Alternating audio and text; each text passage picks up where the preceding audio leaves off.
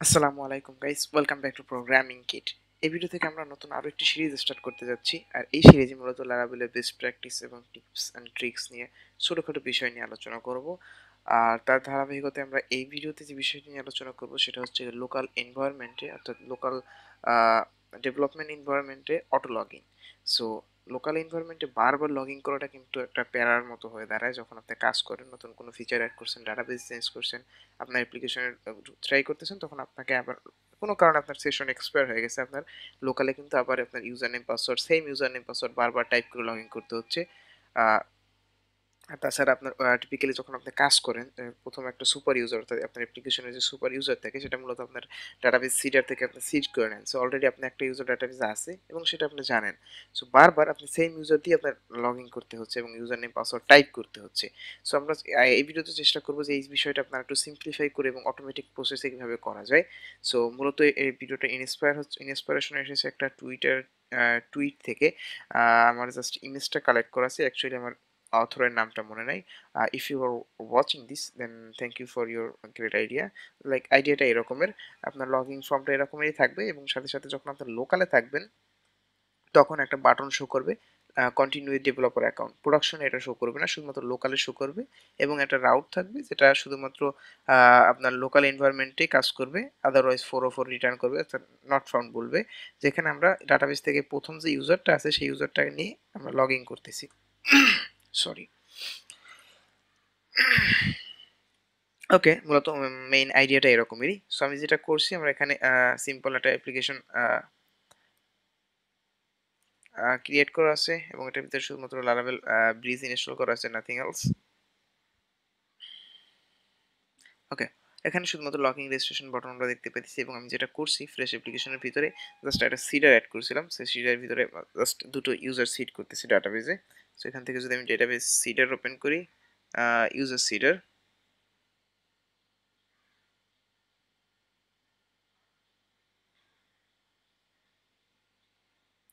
so user seeder আপনারা দেখতে পাচ্ছেন এখানে মূলত দুটো ইউজার সিট করতেছি।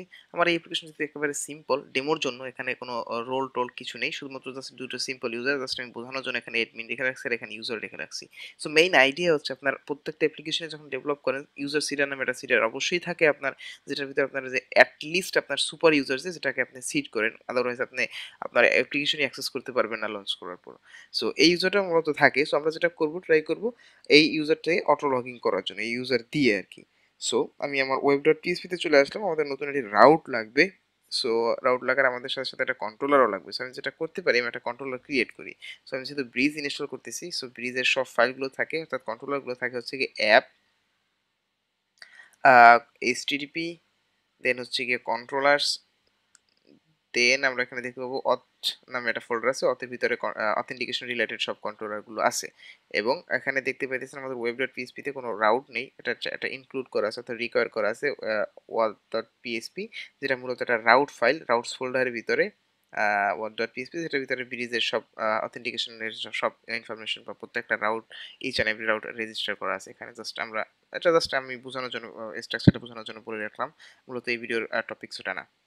ওকে এবার জাস্ট আমরা একটা কন্ট্রোলার ক্রিয়েট করব। তো পিএসপি আর্টিসান মেক কন্ট্রোলার অথ ফোল্ডারের ভিতরে, এরপর login controller done okay controller create হয়ে গেল। এবার জাস্ট আমি একটা নতুন রাউট এখানে রেজিস্টার করব।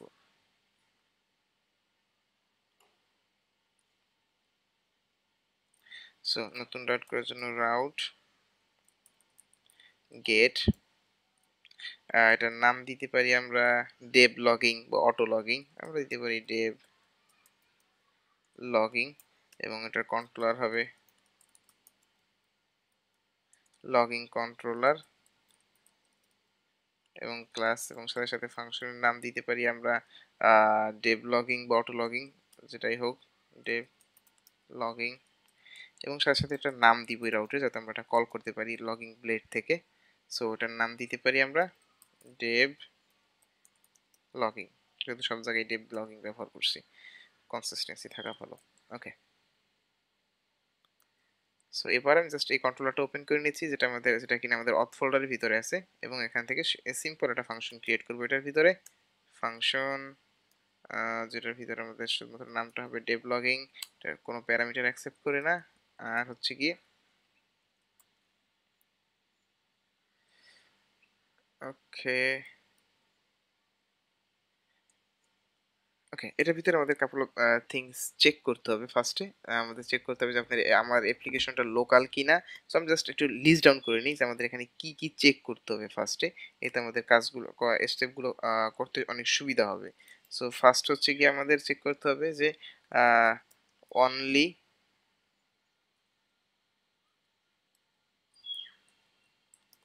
only available in local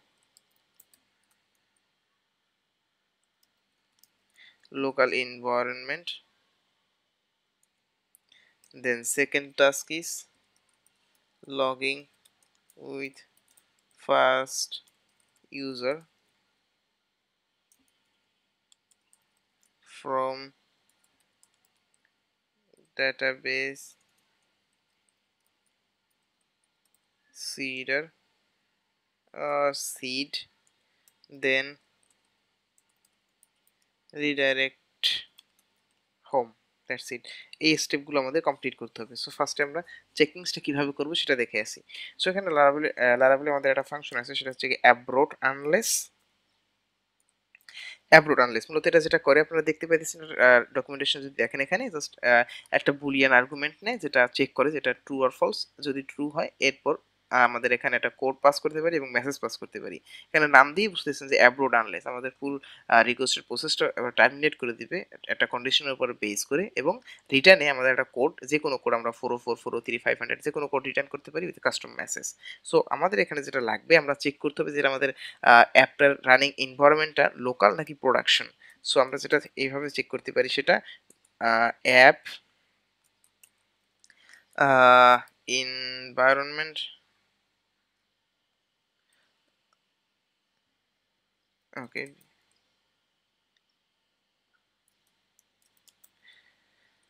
okay environment এবং এখানে আমরা চেক করতে পারি লোকাল যদি এটা লোকাল হয় লোকাল না হয়, সেক্ষেত্রে আমরা রিটার্ন করতে পারি ফোর ও ফোর ওকে মূলত এই অ্যাপ ইনভায়রনমেন্ট এটা চেক করে ডট ইনবি ফাইলের অ্যাপ ইনভায়রনমেন্ট নামে এখানে আরেকটা ই আছে।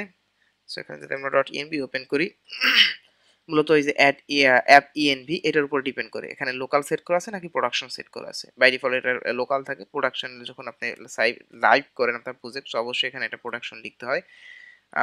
সেই জন্য আমরা জাস্ট এটা দিয়ে ভাবে চেক করতে পারি লোকাল আর প্রোডাকশন সো আমাদের চেকিংস হয়ে গেল। এরপর জাস্ট লগিং এর পালা। সো লগিং করার জন্য শুধুমাত্র আমাদের যেটা করতে হবে, আমরা এখানে হেল্পার ইউজ করতে পারি। লগিং অথ হেল্পার অথ হেল্পারের ভিতরে আমাদের যেটা অ্যাক্সেস করতে পারি লগ ইন এবং এর ভিতরে সিম্পলি আমরা প্রথম ইউজারটা ডাটাবেস থেকে পাস করতে পারি। সো ফা ইউজার মডেল কল করতেছি, এরপর জাস্ট কল করব ফার্স্ট যেহেতু ডাটাবেসে এডমিনিটাই প্রথমে দেওয়া থাকে, সেজন্য জাস্ট এইভাবে কল করে দিলেই যথেষ্ট। ওকে এবার রিডাইরেক্ট করে কোথায় পাঠাবো? সো রিডাইরেক্ট করে, এটা বোঝার জন্য আমাদের যেটা করতে হবে, আমাদের এখানে প্রোভাইডার ফোল্ডারের ভিতরে যেতে হবে। আমাদের অ্যাপ ফোল্ডারের ভিতরে।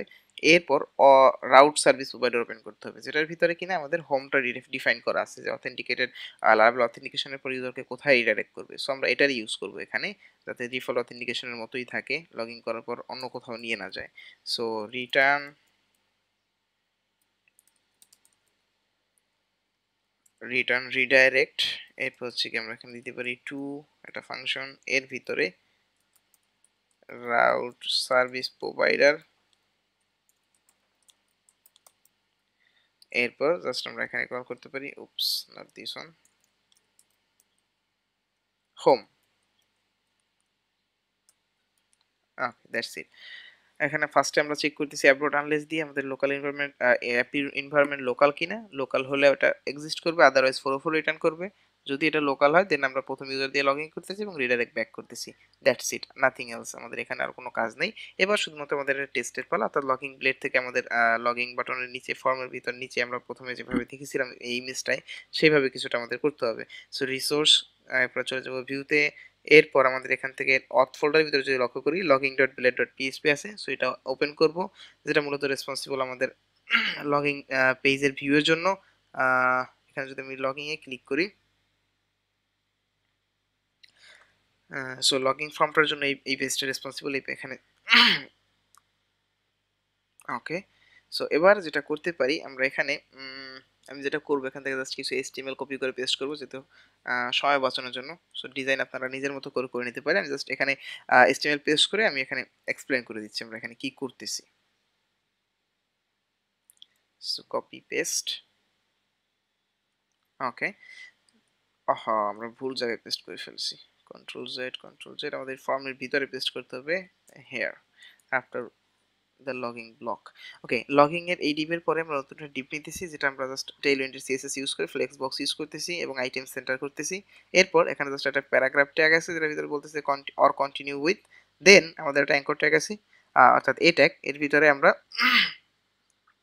জাস্ট আমাদের এখানে ডেভ লগিং এর যে রাউটটা ক্রিয়েট করছিলাম, এখানে যদি আমরা লক্ষ্য করি ডেভ লগিং এই রাউটটা আমরা এখানে লিঙ্ক করে দিচ্ছি। একটা অ্যাঙ্কর ট্যাগের মাধ্যমে লিঙ্ক করে দিচ্ছি এবং একটা লম্বা একটা ক্লাস আছে যেটা শুধুমাত্র টেইলওয়েন্টের ক্লাস সুন্দর করার জন্য। আর এখানে আমাদের বলা আছে developer account login with developer account so এবার যদি আমি এখানে লগিং পেজে রিলোড দেই সো লগিং পেজে রিলোড দিলে আমরা দেখতে পাবো যে লগিং ফর্মের নিচে অর্থাৎ আমাদের নতুন একটা বাটন চলে আসছে login with developer account so যখনই আমি এই এই ডেভেলপার অ্যাকাউন্টে ক্লিক করব নর্মালি কি হয় আমাদের ইউজার নেম অর্থাৎ ইমেল পাসওয়ার্ড লিখে আমরা লগইন করতে হয়। এখন যদি ডেভেলপার অ্যাকাউন্টে ক্লিক করি, আমাদের এটা যেহেতু ওইভাবে লজিক লেখা জাস্ট অটোমেটিকলি আমাকে প্রথম ইউজার দিয়ে ডেটাবেসের যে প্রথম ইউজারটা আছে, ওই ইউজারটা দিয়ে লগ করে আমাকে ড্যাশবোর্ডে নিয়ে আসছে। সো আপনি বুঝতে পারতেছেন এটা কত হেল্পফুল আপনি যখন প্রজেক্ট ডেভেলপ করবেন, তখন অনেক লোকালেই অনেক সময় আপনার বারবার ইউজার নেম পাসওয়ার্ড টাইপ করে আপনার লগ ইন করতে হয় বিভিন্ন ফিচার টেস্ট করার জন্য। সো আপনি এবার যেটা করতে পারেন সিম্পলি লগিং পেজে আসতে পারেন আর জাস্ট সিঙ্গেল ক্লিক আপনার এখানে ইমেলও টাইপ করতেছে না পাসওয়ার্ডও টাইপ করতে হচ্ছে না এবং লগইনও ক্লিক করতে হচ্ছে না। সিম্পলি জাস্ট ডেভেলপার অ্যাকাউন্টে ক্লিক করবেন, এটা লগইন হয়ে যাবে। সো এবার কথা বলি একটু সিকিউরিটি নিয়ে। কারণ আপনি যেহেতু এখানে অটোমেটিক লগিং প্রসেস দিতেছেন সো এটা অবশ্যই অবশ্যই এটা আপনার খেয়াল রাখতে হবে যেটা আপনি করে ভুলে গেলে চলবে না। অর্থাৎ প্রোডাকশন লেভেলে আপনি বুঝতেছেন এটা কত বড় হার্ম করতে পারে। আপনার মানে সুপার ইউজার দিয়ে অটোমেটিক লগিং এখানে জাস্ট লগিং ফর্মে একটা বাটনে ক্লিক করলে হয়ে যাচ্ছে। সো এটা অবশ্যই খেয়াল রাখতে হবে যাতে প্রোডাকশন এটা কোনোভাবে অন না থাকে। সো এজন্য অলরেডি আমরা সিকিউরিটি ইমপ্লিমেন্ট করে আসছি। অর্থাৎ এখানে আমরা চেক করতেছি যে লাইক আমাদের এখানে অ্যাপ ইনভায়রনমেন্ট লোকাল নাকি ইনভায়রনমেন্ট সো এটা চেকিংস করা আছে। সো আমরা এবার যেটা চেক করব শুধুমাত্র যেটা কাজ করতেছে কিনা।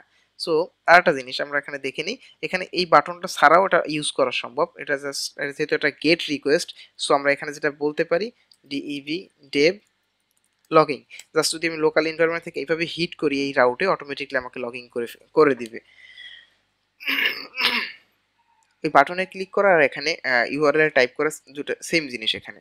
সো এবার যেটা করতে হবে, আমরা চেক করব যে আমাদের চেকিংসটা কাজ করতেছে কিনা, অর্থাৎ লোকাল এনভায়রনমেন্টে বা প্রোডাকশন এটা থাকবে কিনা, যেটা সবচেয়ে বড় সিকিউরিটি ইস্যু এখানে। সো আমি এখানে ডট ইনবি ফাইলটা ওপেন করব আমার।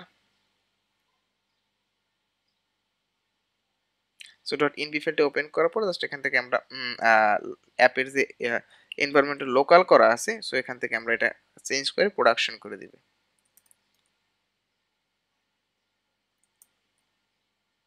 ওকে, এখানে প্রোডাকশন পুরো লেখাও লাগবে না, জাস্ট প্রড লিখলাম আমরা, এরপরে জাস্ট টেস্ট করে কাজ করবে এখানে যদি আমি রিলোড দেই,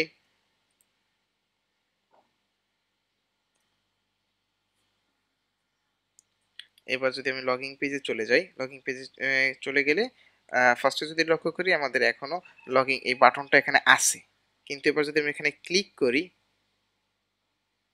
আমাদের এখানে দেখতে পাইতেছেন, আমাদের এখানে ফোর ফোর রিটার্ন করতেছে। অর্থাৎ এই পেজটা নট ফাউন্ডেড এই নামে কোনো পেজই নাই, এটা এরকমের বলতেছে যেভাবে আমরা বলে আসছি আমাদের লজিকে কিন্তু প্রবলেম হচ্ছে আমাদের যদি এনভায়রনমেন্ট লোকাল হয়, সেক্ষেত্রে আমরা এই বাটনটাও আমাদের দেখানো উচিত না, ঠিক না? কিন্তু কিন্তু আমরা কিন্তু এখনও বাটনটা দেখাচ্ছি।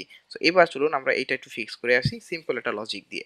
সো আমরা কন্ট্রোলার ভিতরে অ্যাপের এনভায়রনমেন্ট চেক করলাম কীভাবে?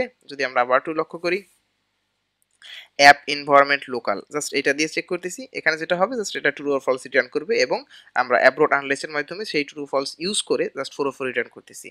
এবার এই সেম কাজটা যদি আমরা ব্লেড ফাইলের ভিতরে করতে চাই, অর্থাৎ ডিটেক্ট করতে চাই যেটা অ্যাপের এনভায়রনমেন্টটা লোকাল কিনা। তো সেক্ষেত্রে ব্লেডের একটা ডিরেক্টিভ আছে, সেটা আমরা ব্যবহার করতে পারি। সেটা হচ্ছে গিয়ে ইএনভি ব্লেড ইএনভি এখানে আমরা জাস্ট টাইপ করতে পারি লোকাল দ্যাটস ইট এবার আমরা জাস্ট এখান থেকে এই এনভির ভিতরে আমরা বাটনটাকে বসিয়ে দিই, অর্থাৎ এই ব্লেড সিনটেক্সের ভিতরে ডিটেকটিভের ভিতরে।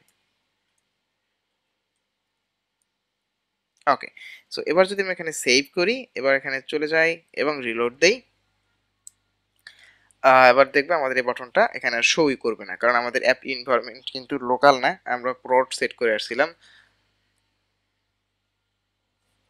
So nothing is there so এবার যদি আমি এখানে আবার যাই এবং. ডট ইনবি থেকে লোকালে অন করে দিই ডট ইনবি থেকে প্রোডাকশন অ্যাপ ইনভারমেন্টটাকে আমরা প্রোডাকশন থেকে লোকাল করে দিই, এখানে।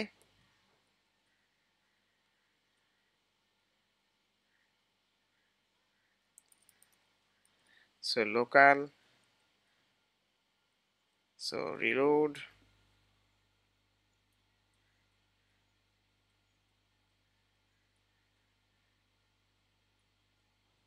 এবার আমাদের এখানে আবার চলে আসছে এবং আমরা ক্লিক করে আগের মতো আমরা লগ করতে পারব ড্যাশবোর্ড ওকে গাইস এটা একটা কুইক মানে কুইক বলতে মোটামুটি ভালো লম্বা হয়ে গেছে ভিডিওটা জাস্ট এটা সিম্পল জিনিস ছিল, একেবারে সিম্পল এবং একেবারে বেসিক বাট অনেক হেল্পফুল আপনার ডেভেলপমেন্ট প্রসেস অনেকটা সময় সেভ করবে, বারবার ইউজার নেম পাসওয়ার্ড টাইপ করার হ্যাসেল থেকে আপনার বেঁচে যাবেন যদি আপনি এইটা ইমপ্লিমেন্ট করে নেন।